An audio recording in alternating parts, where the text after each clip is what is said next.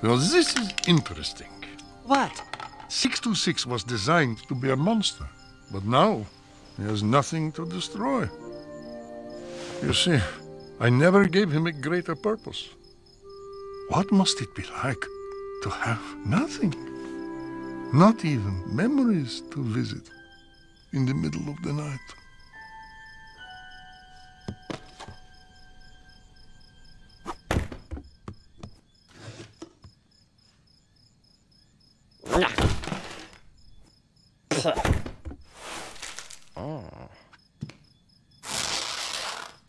That's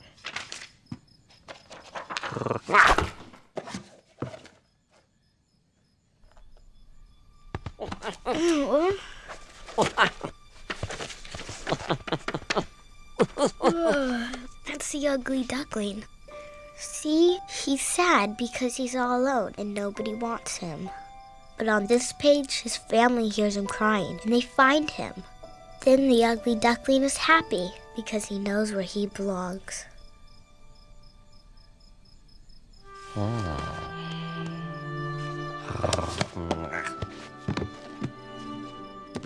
Want to listen to the king?